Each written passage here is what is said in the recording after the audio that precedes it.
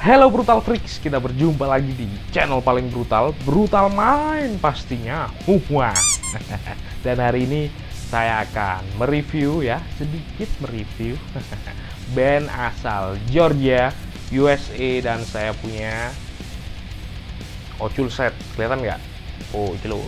Nah, ini band death metal ya. Band ini uh, dibentuk tahun 2019. Jadi baru aja ya dan ini adalah album pertama mereka yang bertitel Gravitation of Blackgaton dirilis oleh Everlasting Spew Records pada tahun 2021 tepatnya di bulan September. Baru aja nih tahun lalu ya kan?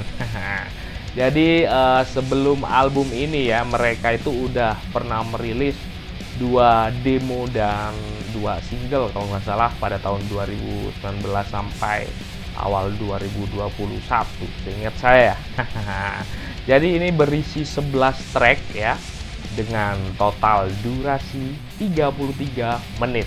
Nah, ini album pertama jadi ya begitulah. Kalau saya pribadi sih kurang apa ya kurang interest dengan musik dari mereka. Uh -oh. karena karakter-karakter musik dari mereka kalian udah uh, denger lah di awal tadi ya kan. Uh, saya ngiranya itu awalnya ya ini band lama ini kayaknya. Uh, kok soundnya kayak gini ya kan? Uh, apa ya? Terkesan kayak uh, ya itu tadi band lama.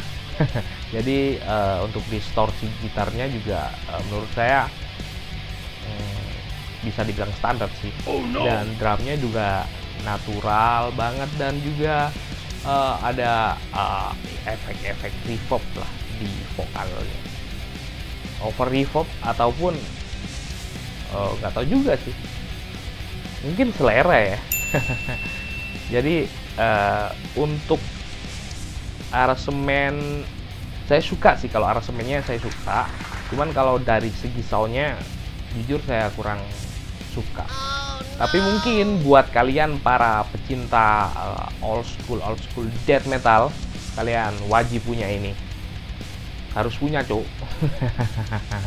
Jadi kalian bisa dapetin CD ini yang pasti di brutal main main main. Dan banyak promo ya. Ho, memperingati uh, apa ya, penemuan. Penemuan CD 39 tahun yang lalu. Dan bisa cek aja langsung di uh, marketplace-nya ya. Di web terserah wih dan yang bikin saya tertarik paling tertarik itu di covernya ya jadi ini yang ngerjain itu Pak D Beskinski ya yes, bukan Pak D sih Mbah Buyut.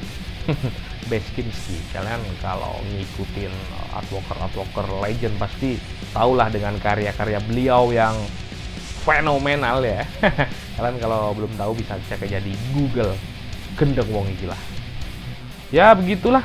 Mungkin gitu aja sih uh, review kali ini ya. Karena ya itu tadi kalian udah bisa menggambarkan atau mentelaah atau apa ya? Ber uh, ber apa gitu? Berpendapat berspekulasi ya bola karena uh, di awal tadi sudah saya uh, dekerin pada kalian beberapa detik atau beberapa menit lah ya. Ya apa menurutmu? Tertarik? Ya tuh gua tuh hmm. oke. okay mungkin segini aja untuk review episode kali ini dan kita berjumpa di review selanjutnya. Bye bye